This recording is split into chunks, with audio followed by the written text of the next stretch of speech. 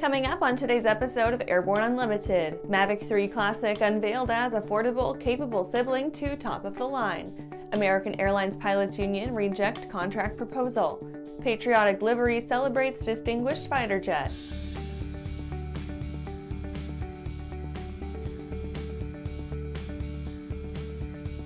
Welcome to Airborne Unlimited. I'm your host, Holland Lee. Let's get into today's stories. Mavic 3 Classic unveiled as affordable, capable sibling to top of the line. DJI has unveiled the Mavic 3 Classic. The Mavic 3 Classic boasts a 4.3 CMOS Hasselblad camera capable of shooting at 5.1K 50 FPS, 4K 60 FPS, and 1080p 60 FPS using H.264 and H.265 encoders.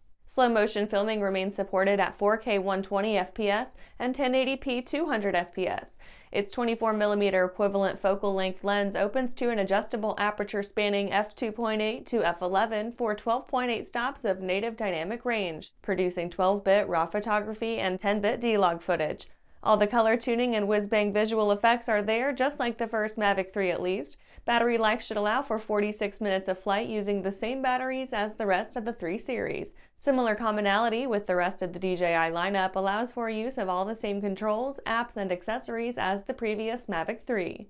Pricing for the Classic starts at around $1,500 for the solo drone, with the basic RC-N1 controller adding another 1,600 to that or 1750 for the advanced DJI RC controller. DJI has obtained remote ID approval just like the last entry in the Mavic series and has already obtained the world's first C1 Euro drone certificate for use in the A1 Open category.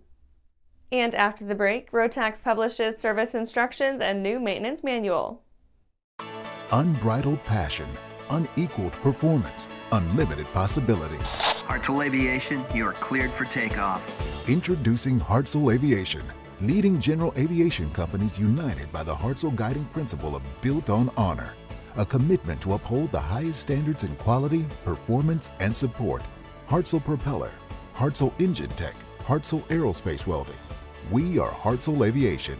Now boarding at hartzellaviation.com. Skyleader Aircraft offers a lineup of the most powerful, durable, and efficient light sport aircraft in the industry. From trainers to roomy cockpits for long hauls, Skyleader has an aircraft for you. And the best part? They're in your budget. Skyleader's base prices are set low to give you room to customize your aircraft to your needs, desires, and wallet, allowing you to put your money where it matters to you most. Visit flyskyleader.com today to learn about our aircraft, customization options, and chat with the team. Aviation Safety Resources is disrupting the market for aircraft emergency parachute recovery systems. ASR systems are smaller, lighter weight, and offer longer repack cycles than similar products available in the current market. ASR has a recovery system available for every type of aircraft sport, experimental, light sport, general aviation, urban air mobility, vertical takeoff and landing, electric propulsion, and unmanned aerial systems. Find the right product for your aircraft at aviationsafetyresources.com. Welcome back. Now let's take a trip around the patch for some other interesting stories. Rotax publishes service instructions and new maintenance manual. Rotax has published service instructions to modify Bing constant depression carburetors in Rotax 912 and 914 engines, with some 582s affected. That's not the only publication of note lately, with the manufacturer issuing a second revision of its maintenance manual heavy for Rotax engine type 912 and 914 series updating its previous 2018 revision date.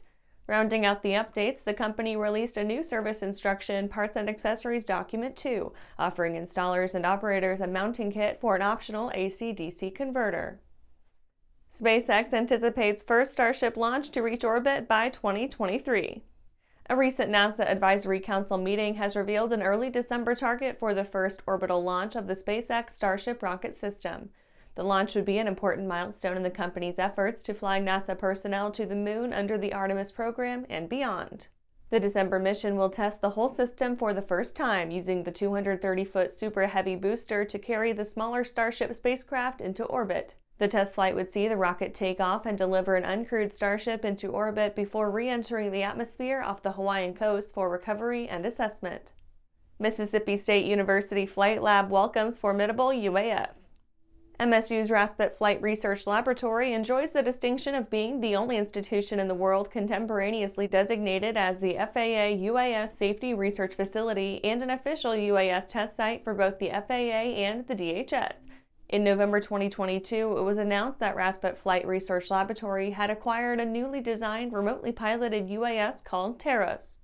The vehicle, manufactured by Navmar Applied Sciences Corp. and deriving of Sonex Aerospace's manned Xenos B motor glider, is expected to be the first UAS of its kind to receive FAA type certification. Royal Jordanian Air Force buys 10 Bell 505s. Bell Textron has sold 10 of its Bell 505 helicopters to the RJAF at the Special Operations Forces Exhibition and Conference in Aqaba, Jordan. The contract will include delivery of the aircraft alongside a comprehensive computer-based flight training package and flight training device for basic and advanced rotorcraft training. This year, the 13th annual SOFEX proved to be a profitable trip for the company. Well, that's it for today's trip around the patch. Let's get back to the rest of the news. American Airlines Pilots Union reject contract proposal. The Allied Pilots Association has rejected a contract proposal that would have secured American Airlines flight crew personnel nearly 20% in raises over the coming two years.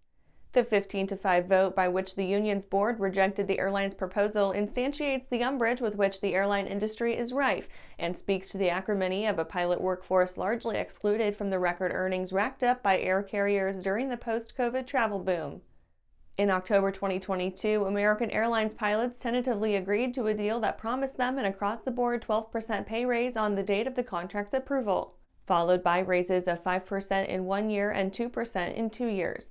Notwithstanding an overall pay raise totaling just under 20% over two years, the proposal failed to address quality of life issues for which American pilots have long pushed. The APA's vote mirrored rejections of contract proposals by unions representing the pilots of Delta and United Airlines. Delta's pilots, who continue to work under pay and benefit provisions last negotiated in 2016, have voted to authorize a company wide strike. United pilots, conversely, are making ready to stage a series of pickets across major U.S. airports. Pilots at Dallas based Southwest Airlines remain mired in contract negotiations that have dragged on for well over two years. And after these messages, Patriotic Livery celebrates Distinguished Fighter Jet.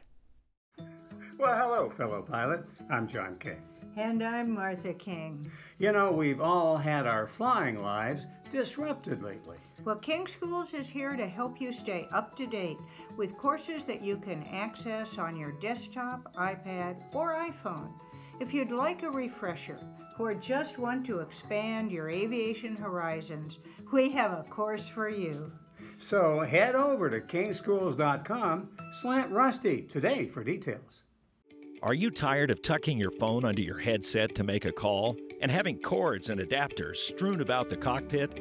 Experience wireless cell phone communications and your personal music with Pilot Communications Blue Link 2. Blue Link 2 gives you a wearable link to two Bluetooth enabled devices at the same time and can even control your phone and music. Use BlueLink 2 with your existing headset or a Pilot Communications headset from pilot-usa.com. Throughout the globe, Piper Aircraft has hand selected the very best in company representation, service, and support. From first inquiry to acquisition to product support, Piper Aircraft ownership is seamless and worry free. Piper Aircraft authorized dealers, factory trained, factory connected.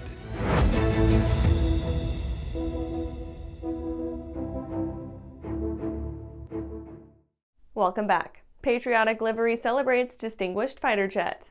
The California Air National Guard's 144th Fighter Wing has unveiled a new F 15C paint scheme certain to be a hit with fans of freedom, fighter jets, and Old Glory.